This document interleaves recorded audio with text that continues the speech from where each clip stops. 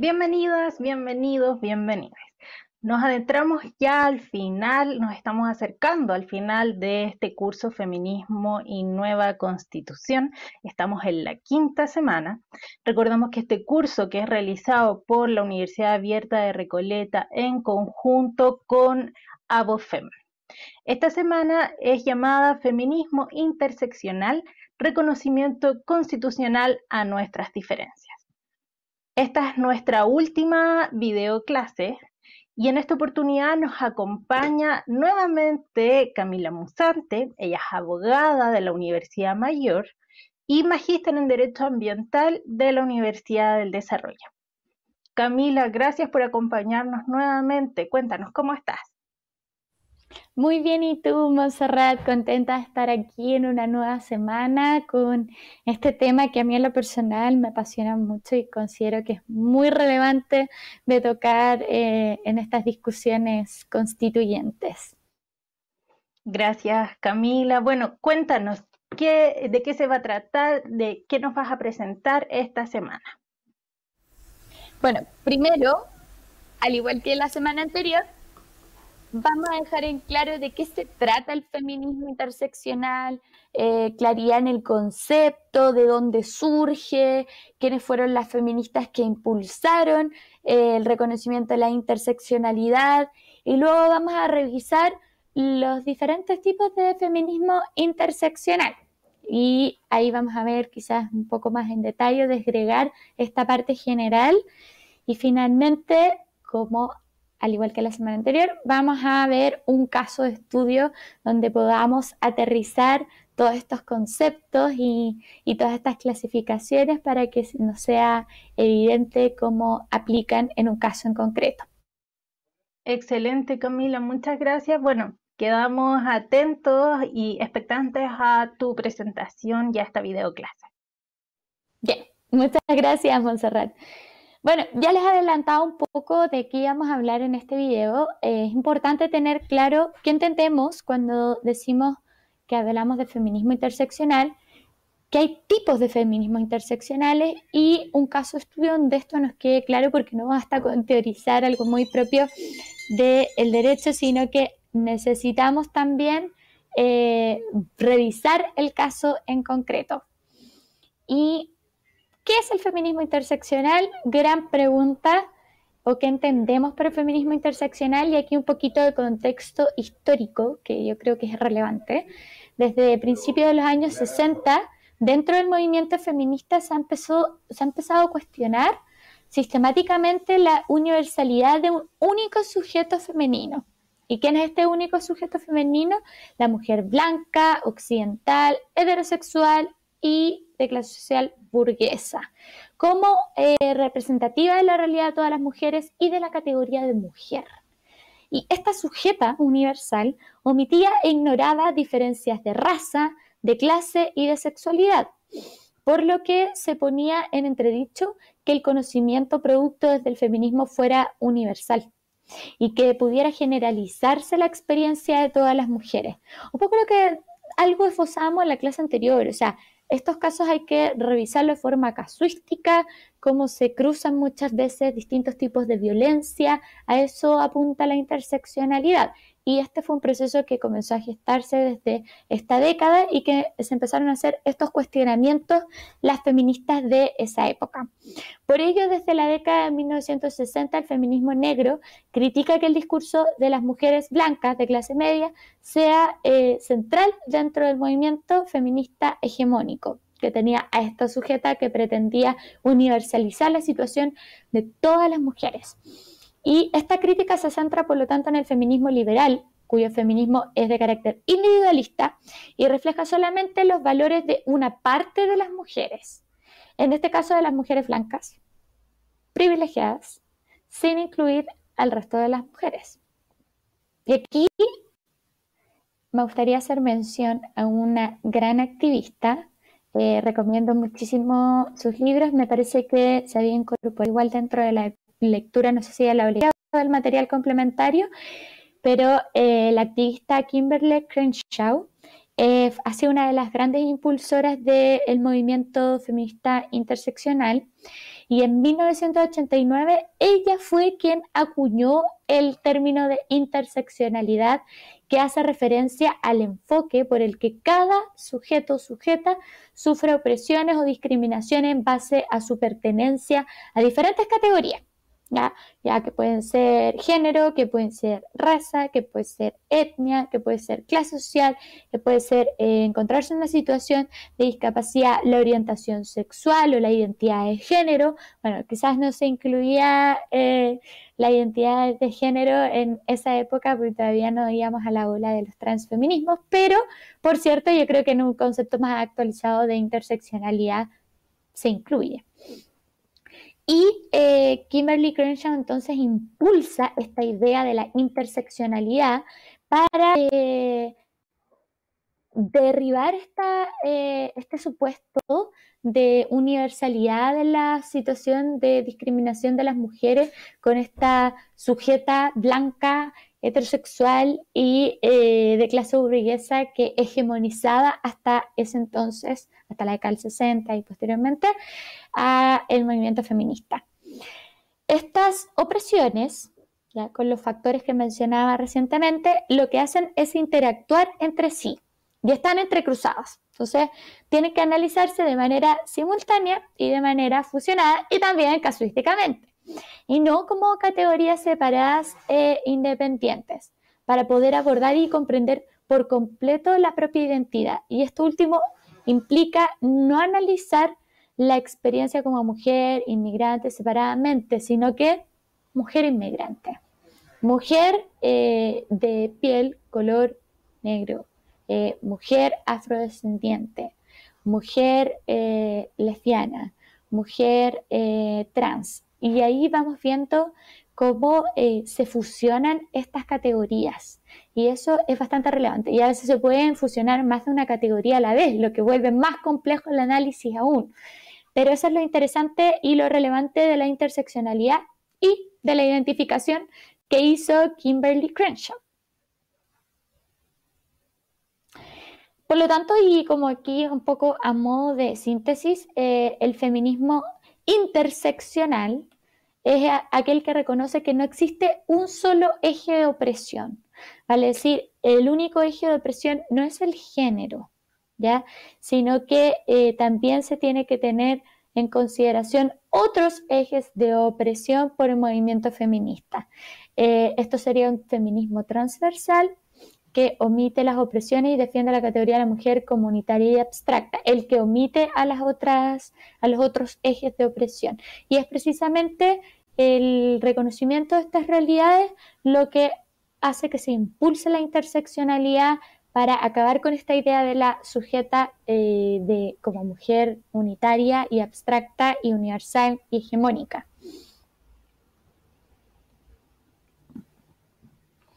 Y el feminismo interseccional entonces nos viene a reconocer y a defender que existen múltiples ejes de discriminación y que se entrecruzan y fusionan. Rompe con la universalidad de la experiencia de la mujer y es construido por la diversidad de mujeres y sus experiencias y sus luchas. ¿ya? Esto curiosamente no es tratado en, mucho en nuestro territorio nacional, en Chile, siendo que eh, tenemos muchísima interseccionalidad. ¿A qué voy con esto? Eh, tanto por los orígenes de pueblos originarios, y hay un cruce interseccional, tanto también por la geografía que tiene nuestro país, eh, hay que considerar el centralismo o la descentralización también como factor de interseccionalidad eh, y la diversidad cultural y la diversidad en materia de ciencias sexuales y de género, que eh, es una expresión de las diversas mujeres que habitamos en este territorio y que actualmente no están reconocidas en el texto constitucional. Así que eh, aquí estamos nuevamente al debe con esta materia, siendo que es completamente contingente actual y que también es una deuda de carácter histórico. Pensemos que la realidad que viven las mujeres, eh, que pueden provenir del pueblo mapuche, de los pueblos del norte, las mujeres afroariqueñas. Eh, ahí hay algunos colectivos que han estado intentando visibilizar eh, esta interseccionalidad y, cómo afecta.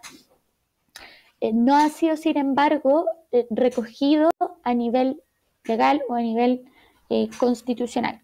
Entonces, para empezar a agregar esto un poquito, vamos a hablar sobre los tipos de feminismo interseccional. Tenemos el feminismo, bueno, esta lista se nos queda corta, pero también lo es el tiempo del módulo de la videoclase, es limitada, así que vamos a tocar algunos como el feminismo negro, el feminismo léfico, indígena, árabe, socialista y el transfeminismo, que es lo que les mencionaba yo, que es de las teorías de las olas más recientes y eh, que ha sido mayoritariamente desarrollado por Judith Butler.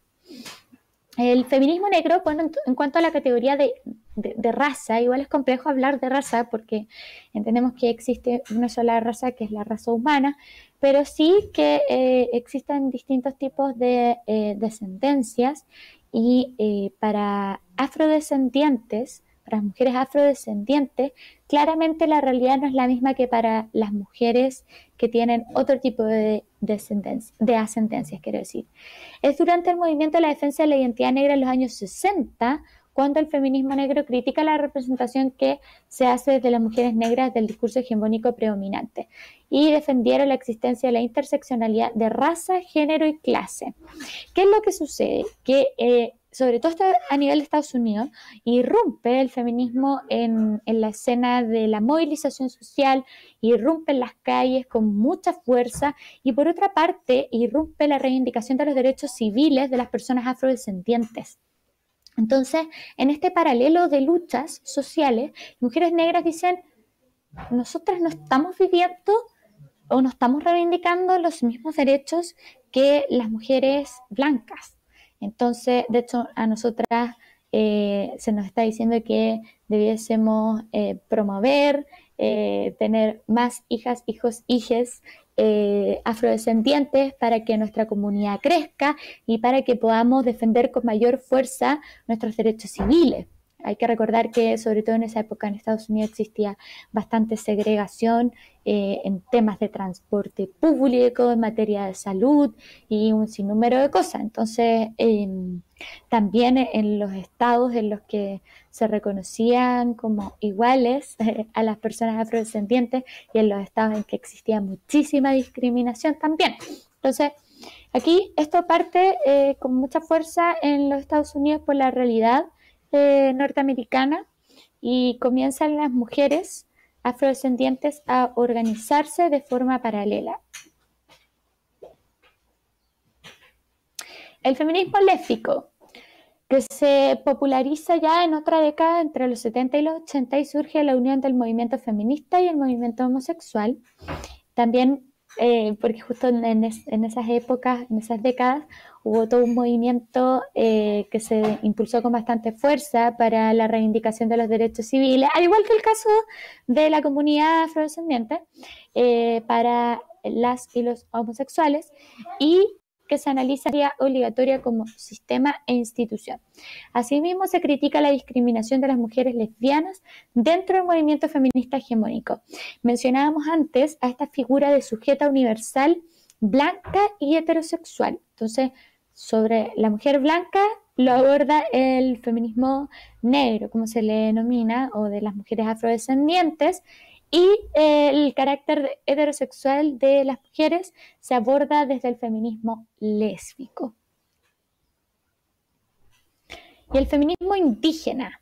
Aquí esto para mí me parece que es muy relevante en cuanto a nuestra realidad nacional y es el movimiento en el que las mujeres tienen una doble militancia o lucha. La lucha de género por una parte y la lucha por la autonomía de sus raíces y pueblos, así como de la defensa y su cultura.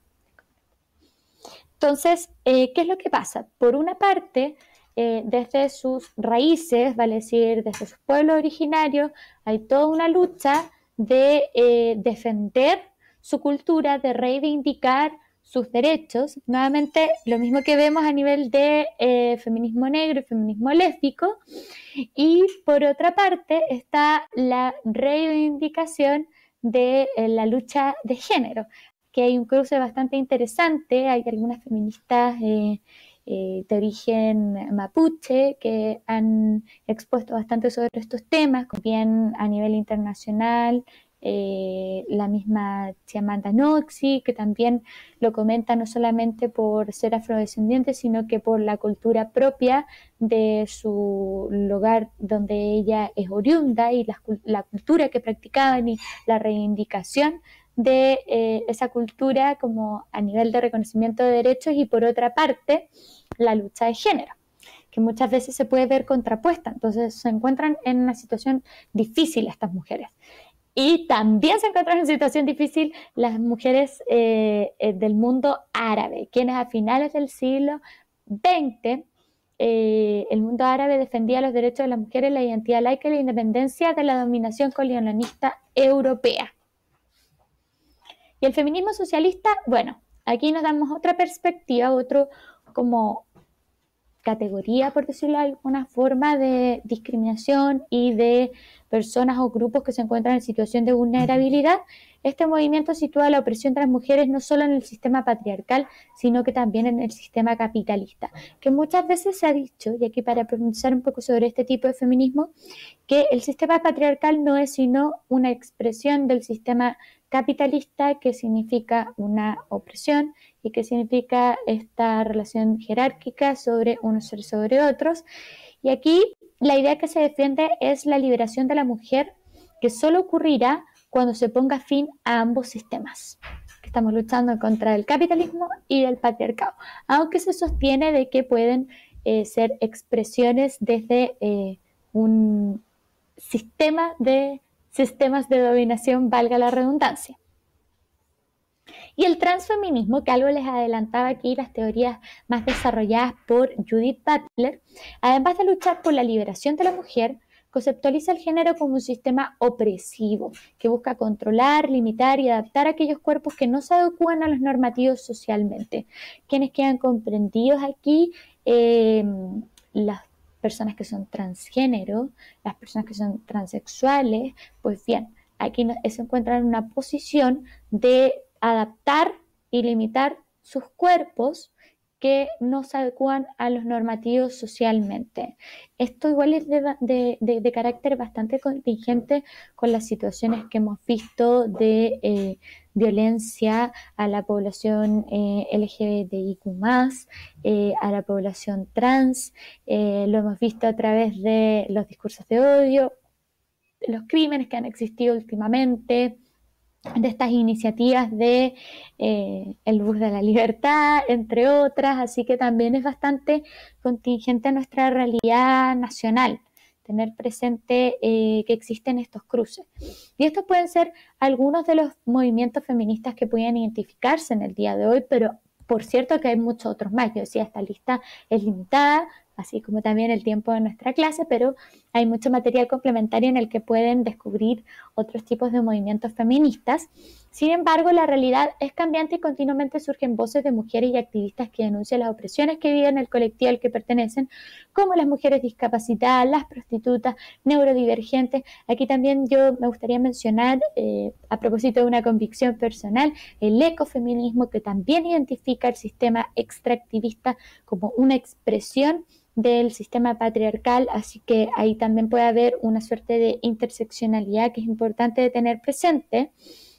Y es necesario escuchar a todas estas voces y realizar un ejercicio de reflexión y crítica sobre nuestras propias ideas y prácticas dentro del feminismo.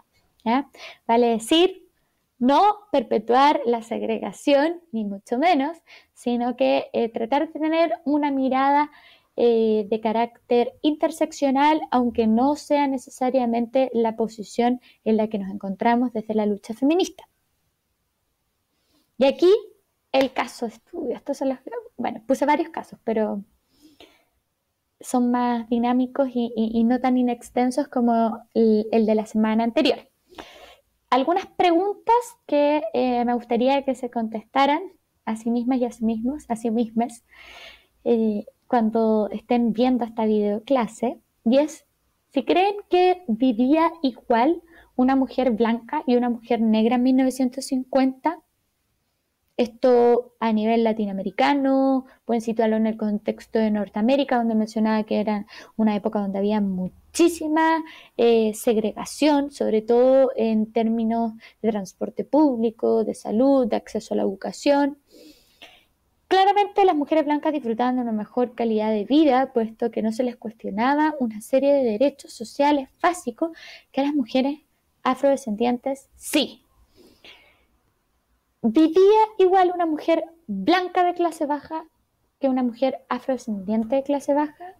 Esto igual es una pregunta relevante, porque aquí ya nos estamos metiendo en el feminismo socialista, feminismo marxista también puede ser, en donde podemos ver que la mujer de clase baja sufre, por ejemplo, peores condiciones de vida y la mujer afrodescendiente además tiene la discriminación de carácter racial. Entonces, eh, ahí hay un evidente caso de interseccionalidad y sería innegable decir de que eh, viven la misma situación para que empecemos a cuestionarnos cómo se pueden eh, interconectar y fusionar estas distintas categorías de discriminación.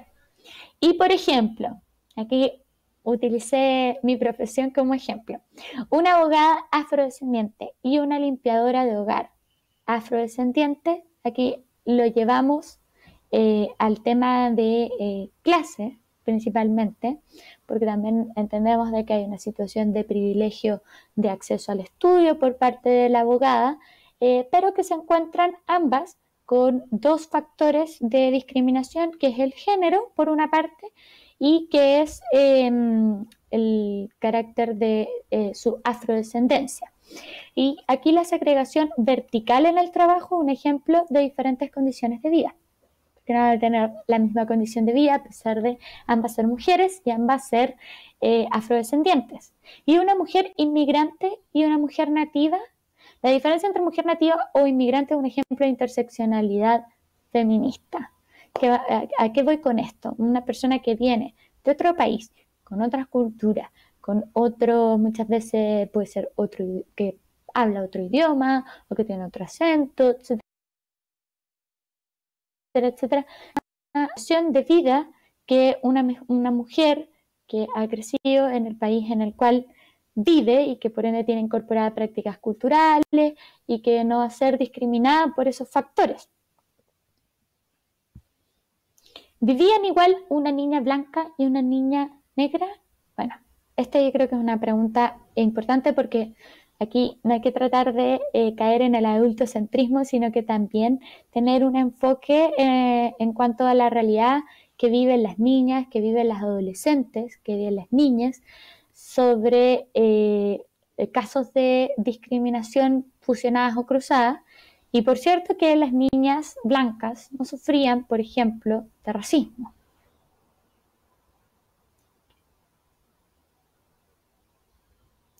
Y aquí, aquí está un caso concreto, concreto, que a mí por lo menos me gustó mucho.